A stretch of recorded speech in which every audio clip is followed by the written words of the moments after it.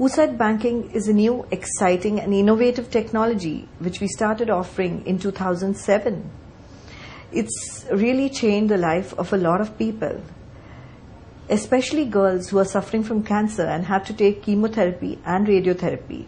What happens is with these therapies, the ovaries get damaged, and then when these girls marry later or want to have children later, they do not have any oocytes.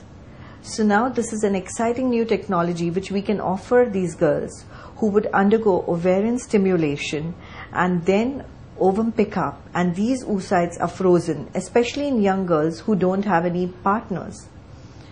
We have had a lot of patients with breast cancer coming forward to freeze their eggs, a lot of patients with rectal carcinoma coming forward to freeze their eggs.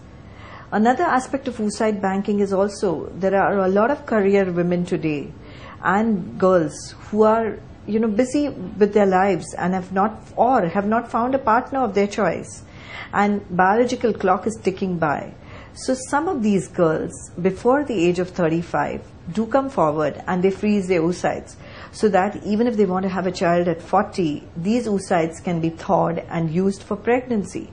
so oocyte banking is a very uh, different approach, a novel approach, and with vitrification as a new technology for freezing oocytes, the success rate has definitely gone up and has given a light of hope to these girls who would like to delay their childbearing for a couple of years and not really worry about their biological clock ticking by.